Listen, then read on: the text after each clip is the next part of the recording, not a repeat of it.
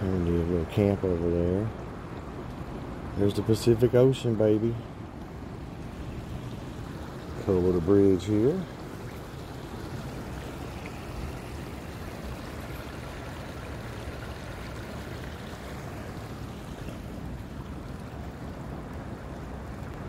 The size of this tree.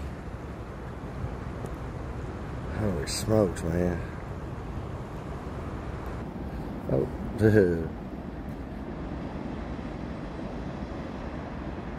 anyway, here's the upper third of the Ozette Triangle Trail, three miles. Took me about an hour and 20 minutes, so, you know, not too bad. Uh, so I'm gonna head south, actually follow the shoreline for three miles, and then cut back to the northeast. I guess that's what that would be. Yeah, uh, for three miles. Anyway, on to the petroglyphs.